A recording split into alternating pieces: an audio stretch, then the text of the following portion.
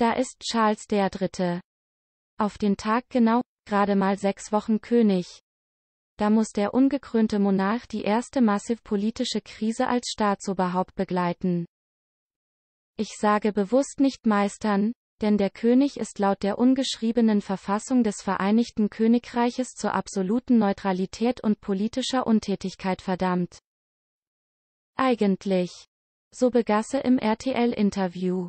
Doch jeder, der den 73-Jährigen kenne, weiß, dass ihm das so überhaupt nicht schmecken würde, und dass er sich eben doch einmischen wird.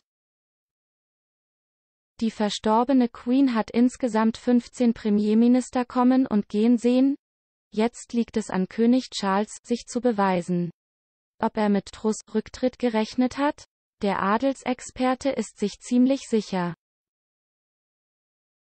Dass Liz Truss, die noch von seiner Mutter, der verstorbenen Queen, zwei Tage vor deren Tod vereidigt wurde, schon wieder das Handtuch werfen musste, wird den Royal nicht überrascht haben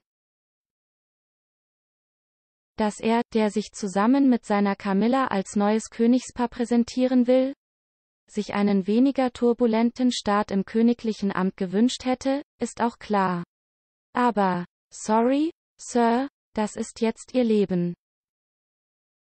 Für König Charles III. ist Liz Truss die erste Premierminister, die wieder von der Bildfläche verschwindet, und nur ein politischer Hauch in der britischen Geschichte.